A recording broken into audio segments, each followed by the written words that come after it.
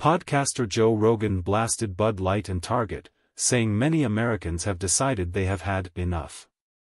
With massive companies facing public backlash for engaging in woke messaging, Rogan's guest, stand-up comedian Theo Von, proposed an app that could show customers of a business where they put their political money. A little of that is going on right now with all the woke s backslash dash backslash, Rogan responded. Target lost billions of dollars because they tried to have this pride selection. Yeah.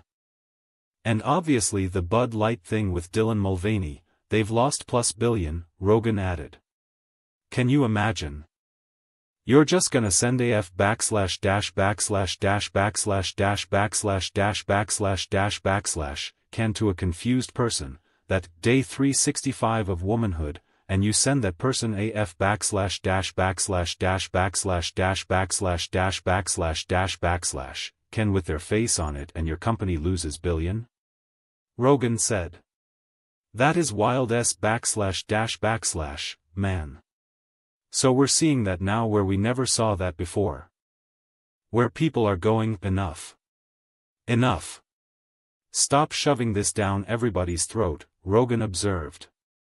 He went on to suggest that much of the far-left messaging today from major corporations like Target has gone beyond the pale for society.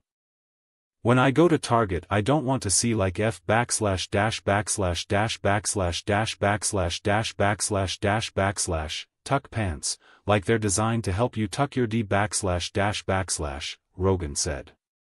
Hey, that's not normal, I don't want that right in front of everybody. It's weird. He added that the vanguard of the transgender movement is pushing ideology in a way that resembles religious conquest. There's a lot of f backslash dash backslash dash backslash dash backslash dash backslash dash backslash real weirdness with this group of people that is trying to change the way people view sexuality and gender, he said. They're proselytizing. Von reiterated his app idea to track what political causes a company donates to before doing business with them, to help people ensure they put their money where their beliefs are.